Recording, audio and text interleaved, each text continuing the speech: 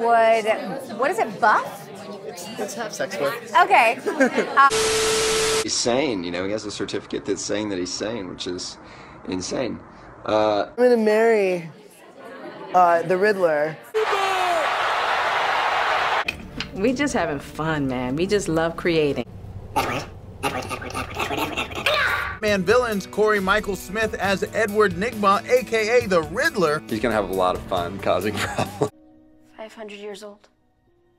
You can get one just like it for five bucks in Chinatown. These are the uh, the holding cells.